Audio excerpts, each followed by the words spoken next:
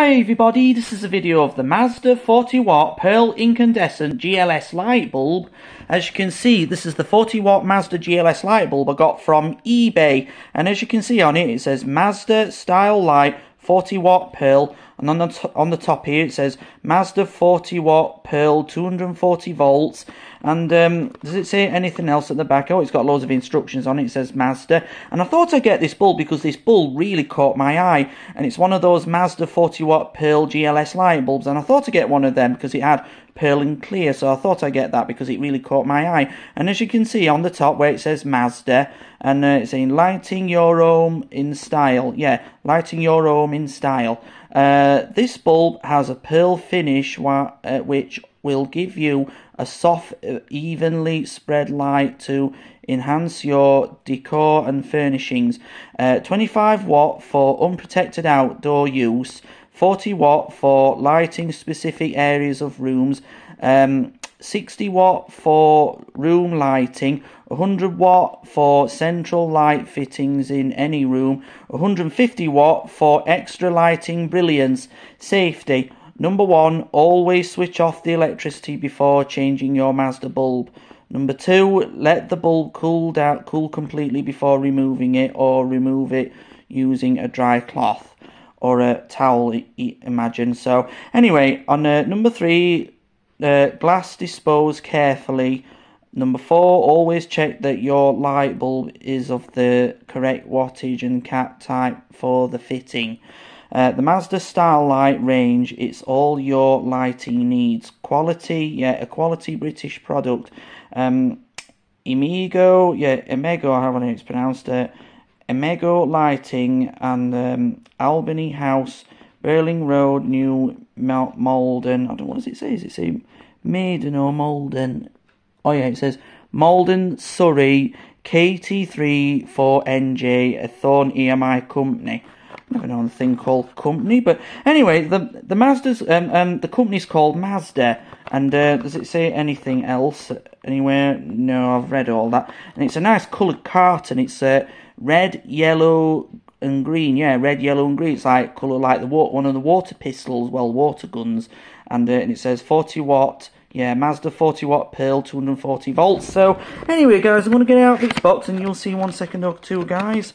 And I had to read all these little tips, so Sorry, I had to scratch my, my top lip. So, so anyway, here I have the, the Pearl 40 watt uh, GLS bulb. There it is. So, I sorry I couldn't get my speech right, but that's what I do when I'm doing a bit of YouTubing. Never mind. As you can see on it now, it says on the edge, it says Made in Britain, 40 watt Mazda, 240 volts, and it's uh, it's like a potato. The way I hold it looks like Venus, and um, you can see right through. It's very nice and, and I've tested it and it works perfectly and uh, it's got the good filament with the stainless steel uh, bayonet cap and I love and I love it. it reminds me of uh, one of my nana my nana used to have light bulbs like these when they used to have uh, Morrison's at Darnall she used to go there years ago when she was alive but anyway guys let's get the bulb into the socket now so that's it oh it's fitted in nice and tightly now and it's fitted in like so so anyway, guys, all I'm going to do now is switch off the switch off this big lamp now. So,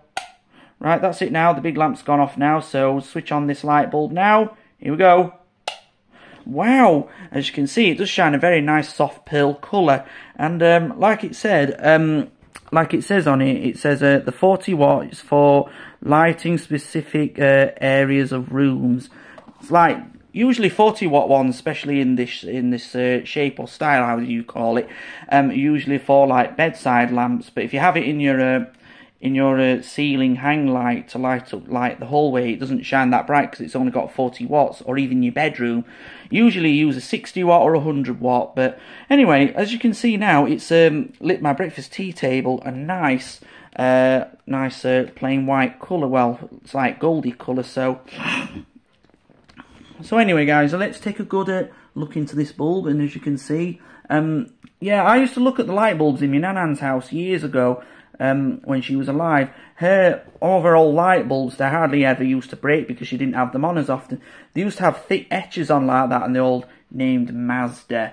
And it's nice, one of those old vintage light bulbs. Like, I think these ones are like from the very late 1980s and coming towards early 90s as as you can see at the style of this carton. Now Morrison's, especially Morrison's at Darnall used to sell bulbs in Mazda like that, especially at 40 watts.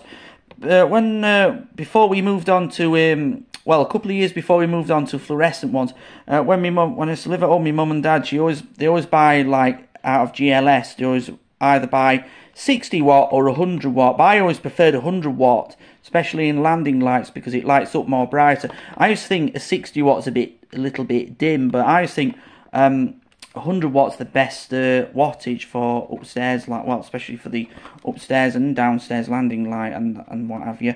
So, and it's got this uh, barcode on it. So, anyway, guys, let's take another good glimpse into it. So, as you can see, it's a very nice pearl. Yeah, a nice pearl incandescent light bulb. It's not perfectly clean, though, but I, I don't want to actually dampen it, because uh, especially with star drops, because it'll take that etch off and, and what have you.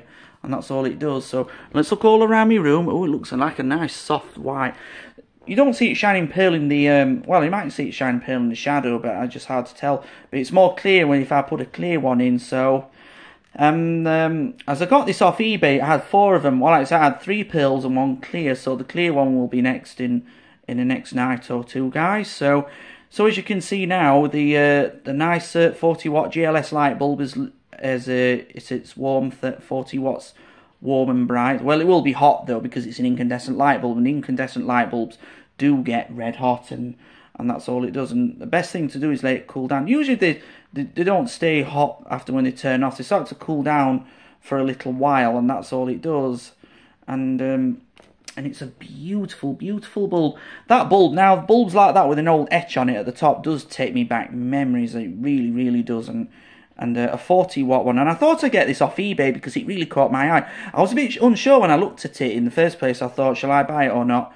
But then the second time when I looked at it, as it was still there, I decided to buy it.